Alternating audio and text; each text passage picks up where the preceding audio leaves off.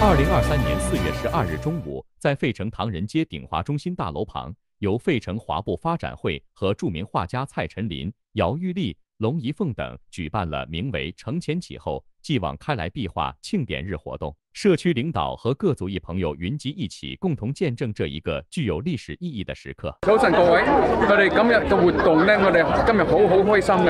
点解咧？我哋啊，鼎华居今日咧后边天后边嗰度有个壁画啊，我哋今日剪彩呢个啊鼎华居咧，我哋摆好多心机，好多钱落去起呢间楼，呢间楼对唐街咧非常非常好好嘅。多谢多谢。我是啊，这个。画的其中的一个艺术家，呃，另外还有两位艺术家，一位是张学友先生，一位是陈华燕女士。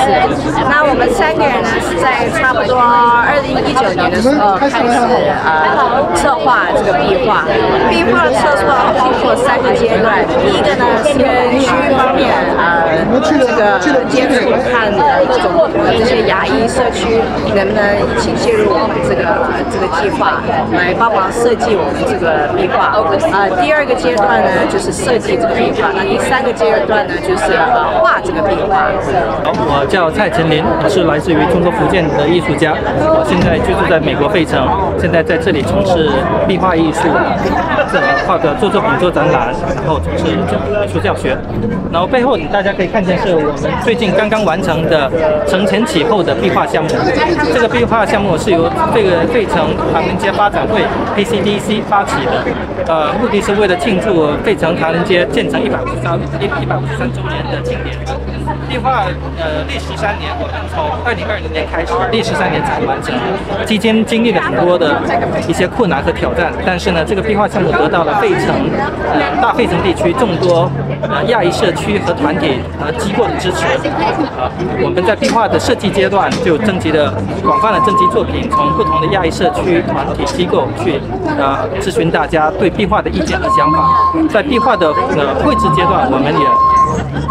得到了很多的亚亚裔团体的支持和呃呃帮助啊，我们有数百位的志愿者来参与到壁画的绘制和制作。那在壁画的设计当中，我们也把呃很多亚裔文化和中文化的元素都融在壁画里面了。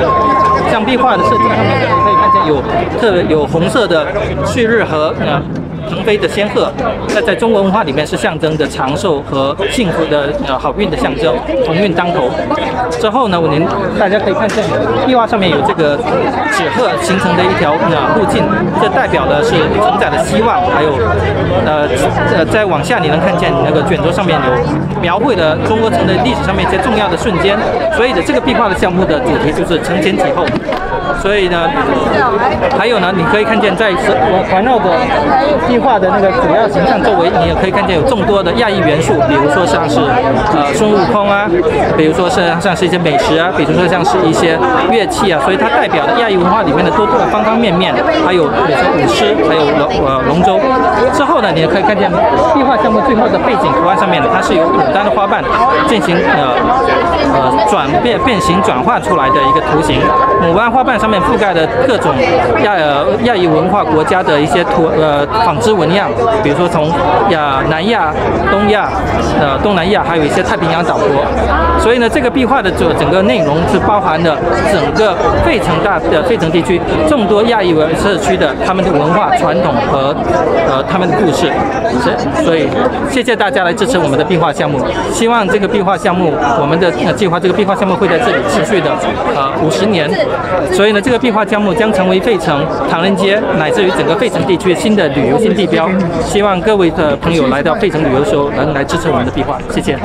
今天呢，非常的高兴，呃，来代表我们副总来祝贺我们的这个我们顶华楼的那个呃高墙上面画的那个艺术画，真的了不起，花了三年的时间。